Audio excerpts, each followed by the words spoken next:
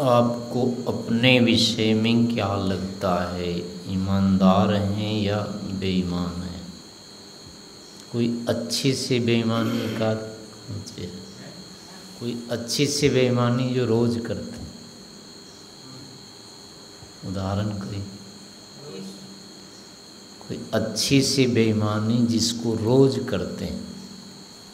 अच्छा रोज़ आप भोजन करते हैं, आज भी किया? क्या खाया था? कब तक श्रीखंड आपको पता था यहाँ है? आगे कहाँ गया उसका उत्तरदायी कौन है? श्रीखंड आपके पास है या कहीं चला गया?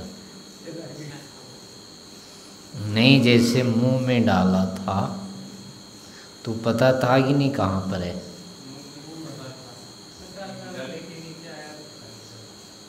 पूरा पूरा पता था ना। जीव के किस भाग में है, कहाँ पर है, ये सारा पता था। उसके आगे का पता है या नहीं, वैसे जैसे मुँह में पता था। नहीं है ना। तो उसके लिए उत्तरदायी कौन है? वो कहाँ गया का? उसका पता होना चाहिए कि नहीं होना चाहिए अपने का? जब आपके सामने से जा रहा है तो कहाँ गया? क्यों नहीं पता होना चाहिए? नहीं, अभी तक आपको पता था इसके बारे में कि है हमारे पास? रखा था ध्यान?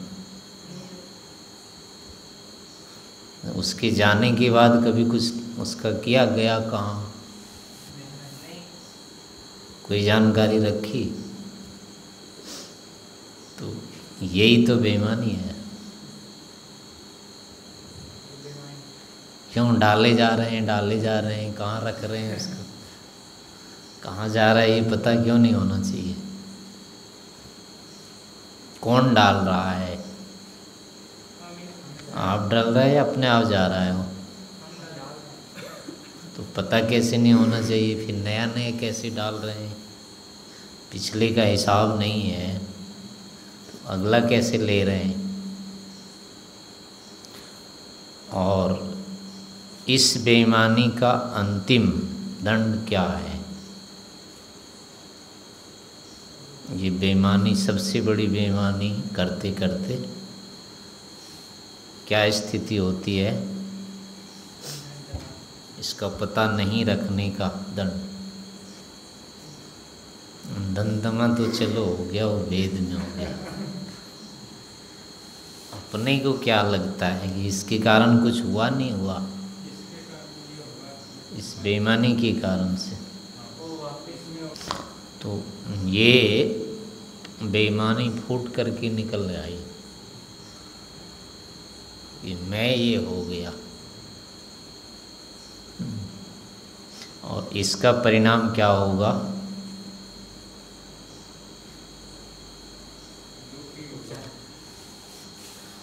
जिस जिस दिन मरने लगेंगे ना, उस दिन भयंकर पीड़ा होगी। शोक होगा, दुख होगा, मरना नहीं चाहेंगे कभी। और मरेंगे। इसका ही ये परिणाम होता है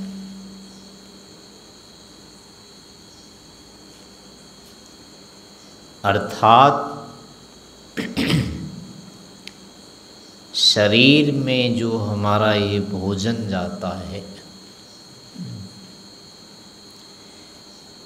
इसका हमारे साथ जब तक संबंध रहता है, सन्निकर्ष संयोग रहता है, तब तक तो इसकी हमको अनुभूति है, रहती है। लेकिन जब इसके साथ हमारा सन्निकर्ष संयोग संबंध कट जाता है, उसके बाद इसकी अनुभूति हमारे पास नहीं रहती है। जीव के साथ मन और हमारा सीधा संबंध रहता है।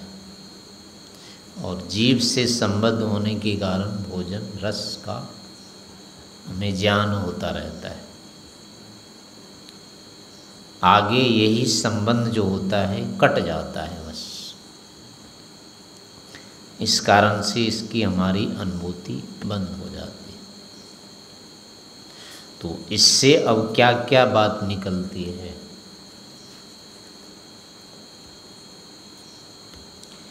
एक तो ये जो था भोजन, वैसे तो पहले दिख ही रहा था कि हमसे पृथक है। बाहर जब था थाली में, तब तो था ही कि हमसे अलग है। अब आगे की प्रक्रिया का बोध नहीं होने से जो हमारा यथार्थ ज्ञान था कि मुझसे ये पृथक है, वो ज्ञान हमारा नष्ट हो जाता है, खो जाता है। जिसको हम स्पष्ट मान रहे हैं कि नहीं है हमारा, उसी को मान लेते हैं, हमारा ये, हम ही है। ये आगे की उस अनुभूति के अभाव में ही होता है। इसके साथ, यानी इससे हम पृथक हैं, आगे हमको बोध नहीं रहता है। तो इससे ये होता है कि वस्तुतः हम अलग हैं, इंद्रियाँ अलग हैं और ये अलग हैं। क्योंकि इतना तो निश्चित है कि कहीं अभी बाहर गया नहीं। जीव से उतरने के बाद अभी बाहर तो गया नहीं है। है तो यही। लेकिन फिर भी अनुभूति नहीं हो रही है, उसकी पकड़ नहीं आ रही है। तो यहाँ पर क्यों हो रही थी? जीव के पास क्यों हो रही थी और जीव से अलग होते ही क्यों बंद हुई? क्योंकि जीव के पास हमारी इंद्रिय का मुख रहता है एक आगे वो मुख नहीं है। इस कारण से शरीर के किसी भी अंग में रस तो सब जगह है ये।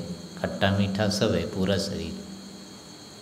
पूरा मांस है, रक्त है, सब में रस है वो स्वाद। लेकिन वो अपने को नहीं पकड़ में आता है क्योंकि इंद्रिय का मुख नहीं है वहाँ। एक जगह इंद्रियाँ पकड़ती है जीव के पास, बाकी जगह ये नहीं पकड़ती है। तो इससे क्या हुआ कि कहीं भी एक जगह अगर पकड़ रही है, दूसरी जगह एक मुख इसके पास हो गया, एक हमारे पास हो गया। तो अब ये चीज़ कम से कम ये तो हो गई ना कि इतनी ही है, सब जगह नहीं है। तो एक पृथक वस्तु है ये तो जैसे एक इंद्रिया हमारी रसना इंद्रिय अलग से एक है पदार्थ। और ये हमसे अलग है। क्योंकि बाकी का ज्ञान ये नहीं करा रही है। हम ही होते तो हमको तो इनका ज्ञान होते रहता। पर इनका ज्ञान भी हमें नहीं होता है तो इसका मतलब है हमारे और इनके बीच में भी कोई है। इनका संबंध हमसे भी कट जाता है। तो ऐसी एक रचना इंद्रिय अलग है, ऐसी नासिका का भी परिणाम होता है। तो का भी यही परिणाम होता है। श्रोत्र का भी यही परिणाम होता है। पाँचों इंद्रियाँ अपने अपने विषयों से एक बार तो हमको जोड़ देती है या इन पाँच विषयों से एक बार हम इनके माध्यम से जुड़ जाते हैं। लेकिन उनके वर्तमान रहते हुए भी हम फिर नहीं जुड़ पाते। दूसरे स्थान में यही है। यहाँ पर ठंडा गर्म है, लेकिन जब तक नहीं छुएँगे इसको इधर से, वो नहीं पता लगेगा। यानी कि यहाँ इस स्थिति में हमारा संबंध नहीं है। और इस ढंग से फिर संबंध होता है। तो संबंध का एक चक्र विशेष बनता है ये। तो इससे फिर लगता ये होता है कि हम वस्तुतः अलग अलग हैं। एक ही होते तो फिर जोड़ना क्यों पड़ता? ऐसे आँख के साथ भी है। आँख से यहाँ से लेकर यहाँ तक हम हम ही होते केवल। तो अंदर भी दिखते रहना चाहिए था। यही चीज़ अंदर भी है और बाहर भी है। तो बाहर तो दिखता है, अंदर नहीं दिखता ये। यानी कि बाहर से हमारा संबंध होता है, लेकिन अंदर से नहीं होता है। तो यानी इसी के साथ अंदर से नहीं होता है, बाहर से होता है। इसका मतलब हम भीतर से नहीं जुड़े हुए हैं इससे। एक चक्र पूर्वक जुड़ते हैं। तो ऐसे ही नेत्र इंद्रियाँ भी हो गई पाँचों के पाँचों इंद्रियाँ हमसे अलग है। इनके विषय भी हमसे अलग हैं। क्योंकि इनकी अनुभूति होती है, फिर बंद हो जाती है।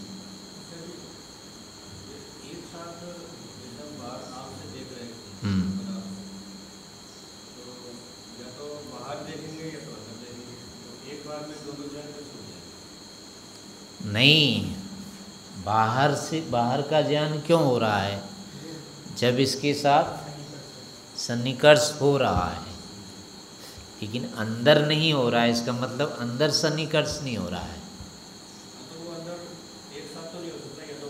कभी नहीं होता है ना। इसी को हम जब देखते हैं इधर से, तब होता है। अगर स्वयं होते तो देखने की ज़रूरत क्या थी? वो तो थे ही फिर। जुड़ने की ज़रूरत नहीं पड़ती ना। जुड़ना तो दूसरे के साथ होता है। अपने साथ जुड़ने का क्या मतलब? लेकिन अपने से भी यहाँ जुड़ रहे हैं। नेत्र के माध्यम से, स्पर्श के माध्यम से, शब्द के माध्यम से जुड़ते हैं पहले अपने शरीर से ही। उसके बाद शरीर के ही गुणों का ज्ञान होता है अपने को। अन्यथा नहीं होता है। तो इससे ये हुआ कि ये विषय जैसे हमसे पृथक हैं। ऐसे ही इंद्रियाँ भी पृथक है, ऐसे ही हमारा शरीर भी हमसे पृथक ही है। हम ही नहीं है शरीर ये। हम ही होते तो हमको हमारा ज्ञान कभी बंद नहीं होता। होते ही रहता हो तो हम ही हैं ही। तो एक तो ये बात होती है, इसका ध्यान नहीं रखने के कारण से इतनी सारी मतलब अज्ञानता हमारी होती जाती है। और सामान्य ज्ञान जैसे होता है, सुख दुख का पूरे समय होता रहता है शरीर का। दुख नहीं हो रहा है तो सुख हो रहा है, वो पूरे शरीर से हमारा संबंध रहता है उसमें तो वो अब इसलिए होता है कि वो दूसरे निमित्त से होता है।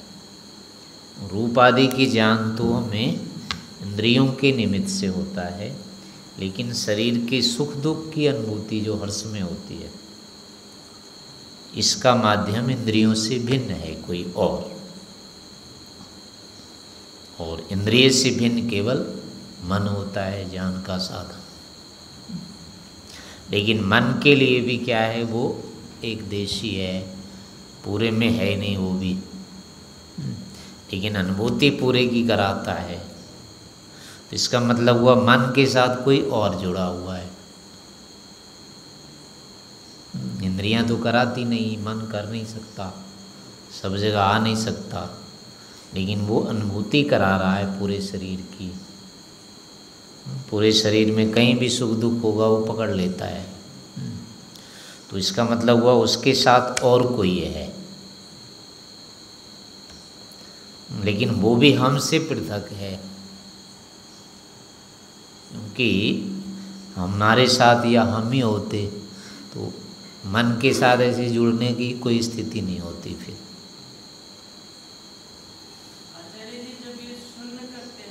हम्म।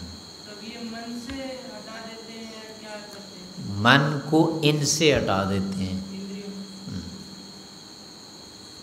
को? इनके साथ जो मन की अनुभूति का वो होता है कारण, यानी प्राण वायु होती है। कोई प्राण है या वायु और कोई एक है साधन, उसके साथ मन का संबंध कट जाता है। इसलिए पूरी अनुभूति बंद हो जाती है एक बार। तो इससे ये हुआ कि हमारी पूरी अनुभूति पूरे शरीर से भी जाती है। तो इसका मतलब है कि हम पूरे शरीर से भी अलग हैं। क्योंकि हम ही अगर पूरा शरीर होते तो हमारी अनुभूति बंद नहीं होनी चाहिए थी। हमको होती रहती, यानी बिना साधन के होती, यानी बिना बाधा के होती। लेकिन बाधित होती, एक बार ये अनुभूति होती है, एक बार नहीं भी होती है। इससे संयोग विभाग की सिद्धि हो रही है। और संयोग विभाग एक में नहीं होता है, एक से अधिक में होता है। तो हमारी जितनी भी अनुभूतियाँ हैं, ये निर्बाध नहीं रहती है कोई भी, सभी बाधित है। कभी होती है, कभी नहीं होती है, कभी होती है, कभी नहीं होती है, इस तरह की ही चलती रहती है। तो इससे हुआ कि जितनी भी अनुभूतियाँ हमारी हो रही है नहीं हो रही है इनके साथ निश्चय से हम दोनों के बीच सन्निकर्ष बनता है। तब होती है कट जाता है तो नहीं होती है। तो अंत में हो, हुआ कि हम ही वस्तुतः इन सबसे अलग हैं। अन्यथा हमारी अनुभूति अलग नहीं होनी चाहिए थी। तो ये पृथकता का जो ज्ञान होता है, वो हम यहीं से अगर करना चाहें तो यहाँ से धीरे धीरे हम इसको कर सकते हैं, जान सकते हैं। ये सब हमारे पास हेतु हैं अपने। और दूसरी बात फिर एक साथ और भी आ जाती है। यही अनुभूति हमको कभी होती है, कभी नहीं होती है। पर इसको हम स्वयं नहीं कर सकते इसको। यानी आँखों से देखना कभी हमारे द्वारा होता है, कभी नहीं होता है। लेकिन ये हमारे नियंत्रण में नहीं है। कभी चाहते हैं तो भी नहीं होता है। आँख मान लो फूट गई तो नहीं देख पाएँगे। तो इससे ये तो हो गया कि हमारे नियंत्रण का नहीं है ये। हमारे द्वारा नहीं है किया हुआ। तो अब जब हमारे द्वारा नहीं है तो फिर हुआ कैसे ये? यानी किसी ने हमारे लिए किया हुआ है फिर। तो इससे उस कर्ता की भी सिद्धि हो जाती है। यानी इन्हीं इंद्रियों के साथ हमारा ये जो सन्निकर्ष होता है या सं, संयोग विभाग होता है। ये अनुभूतियाँ भिन्न भिन्न रूप में होती है। तो इसका कारण है कि हमारे साथ इनको ऐसे जोड़ा गया है। तो वो जोड़ने वाला भी यहीं से सिद्ध होता है। वो जोड़ने वाला इतना ही सूक्ष्म भी होना चाहिए इतना ही व्यापक होना चाहिए। इतना ही वो कर्मशील होना चाहिए, इतना ही ज्ञानवान होना चाहिए। जितने सूक्ष्म ये अवयव हैं, इनका संबंध तो तभी होगा ना जब वहाँ पहुँचेगा वो, उसको संबद्ध करने वाला। वहाँ नहीं पहुँच होगी तो कैसे इनका संबंध होगा? यानी इंद्रिय के साथ, मन के साथ और हमारे साथ इनका संयोग जो बनाया गया है, बीच में अवकाश भी तो होगा। थोड़ा सा तभी तो संयोग विभाग संभव हो जाता है। अवकाश नहीं होता तो संयोग विभाग होता कैसे ही है? तो उस संयोग विभाग के स्थान में भी पहुँच होनी चाहिए उसकी। तभी तो रखेगा कि इतना रखते हैं। तो वहाँ पहुँचने वाला उतना सूक्ष्म भी होगा। और इसके ही कितने अवयव हो जाते हैं? कितने इसके जो खाए पिए का विभाजन कितना हो जाता है, कितने विभाग बन जाते हैं। और सभी विभाग अलग अलग फिर से संचित होते हैं। संयोग विभाग संयोग विभाग इनका चलता रहता है। तो अब उन संयोग विभागों का भी परिणाम नियत रहता है तो उसका परिणाम नियत करने वाला भी वही जाता होगा। क्योंकि गिनती अगर नहीं पता होगी तो कैसे करेगा वो? इतना इकट्ठा यहाँ होना चाहिए, इतना यहाँ होना चाहिए। उसकी गिनती पता होना चाहिए उसको। तो इस प्रकार से इनका गिनने वाला भी ऐसा ही सर्वज्ञ चाहिए। तो इससे उस ईश्वर की भी सिद्धि होती है फिर यानी इन प्रक्रियाओं को यदि हम ध्यान से देखें, इनके ऊपर ही हम विचार करते हैं तो इनसे हमारी पृथकता का भी परिज्ञान होता है। ये हमसे अलग हैं, शरीर से अलग हैं, मन इंद्रिय अलग अलग हैं, इन सभी का ज्ञान भी अनुमान से इनके साथ होता है। और दूसरी बात ये होती है कि हमारी क्या है कि मृत्यु भी निश्चय से काल विशेष में हो जाएगी, इसकी भी सिद्धि होती है। क्योंकि यही शरीर हमारे जो है, पहले छोटा था, बड़ा हुआ, एक परिणाम में आया आज। तो आज ये लग रहा है कि हम नहीं मरेंगे। लेकिन अब ये प्रश्न होता है कि अगर मरेंगे नहीं तो जन्मे क्यों? जन्मा है ये तो ज़रूरी है, निश्चित है। तो जन्मे कैसे मतलब? अगर मरना नहीं है तो जन्म भी नहीं होना चाहिए था। क्योंकि जन्म हो करके अगर ज्यों का त्यों थे तो जन्म भी नहीं होना था। ज्यों का त्यों रह जाते। हम्म, नित्य रहते ना फिर। तो ज्यों का त्यों होते लेकिन ज्यों के त्यों तो रहे नहीं हैं। पीछे से आ रहा है ये। छोटा था पहले। उस छोटे से आगे आगे जाते हैं और थोड़ा पीछे। तो कुछ भी पता नहीं होता है। तो अब ये जो आरंभ हुआ है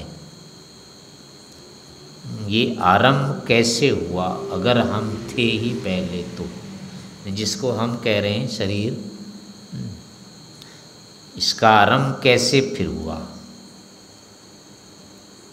क्योंकि ज्यों कहते हो, यदि हैं तो होना चाहिए, ज्यों कहते हो, पीछे भी रहना चाहिए था।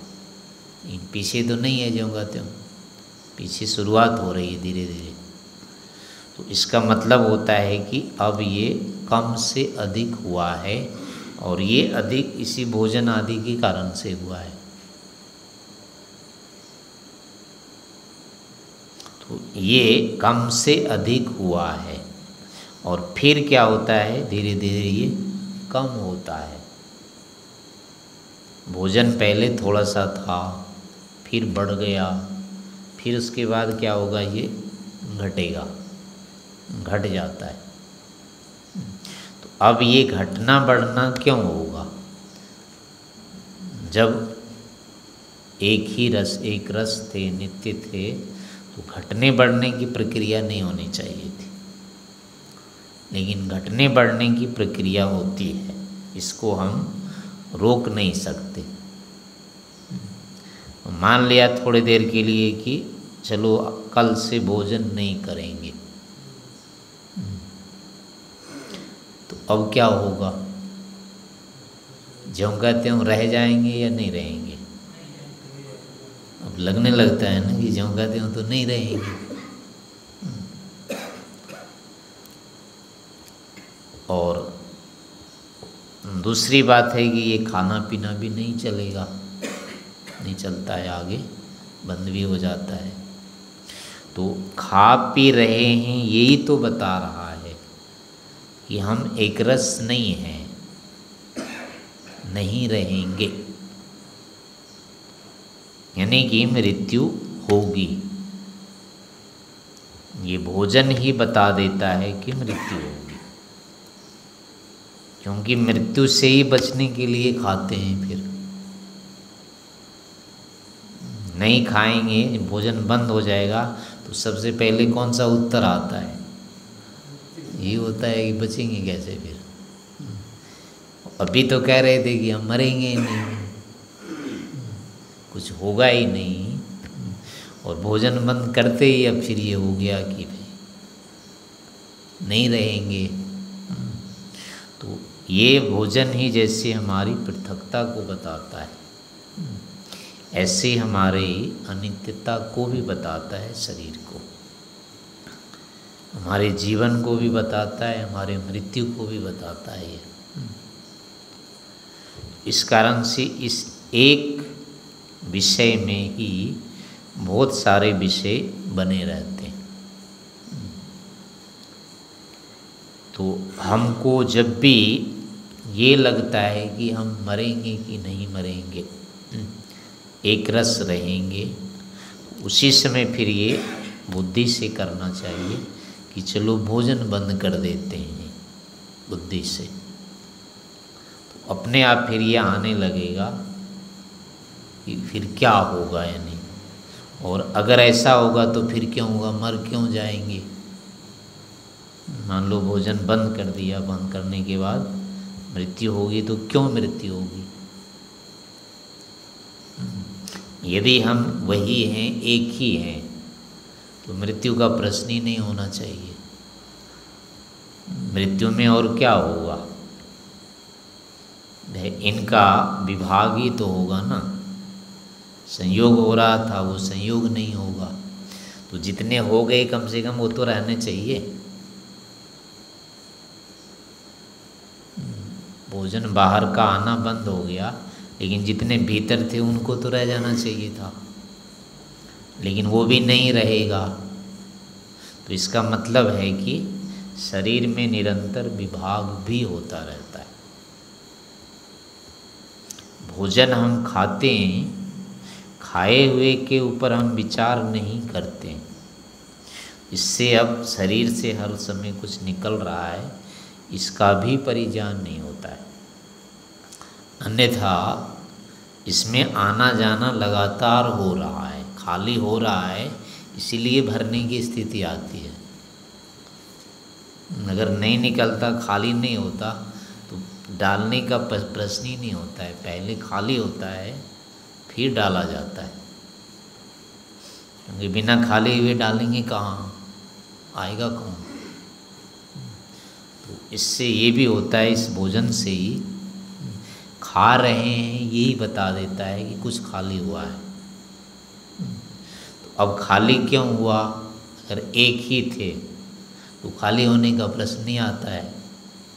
लेकिन अगर खाली हो रहा है, इसका मतलब एक नहीं है। सब अलग अलग हैं। तो इस प्रकार से आना भी हो रहा है, जाना भी हो रहा है, भरना भी हो रहा है, खाली भी होना हो रहा है संयोग भी हो रहा है, विभाग भी हो रहा है। सारी प्रक्रियाएँ चल रही है और ये सब के सब क्या है? अनित्यता को सिद्ध करती है। यानी शरीर जो है, हमारा वो अनित्य है और हमसे पृथक है। लेकिन लगातार हमको एक अनुभूति भी रहती है, बस जन्म से लेकर मृत्यु तक। वो अनुभूति हमारी बदलती नहीं है, उसका भी आश्रय कोई होना चाहिए। तो दो आश्रय इससे सिद्ध हो जाते हैं। एक तो नित्य है एक अनित्य है। तो इस प्रकार से भोजन को लेकर के भी हम विवेक उत्पन्न कर सकते हैं अपने शरीर के विषय में, अनित्यता के विषय में, पृथकता के विषय में विचार कर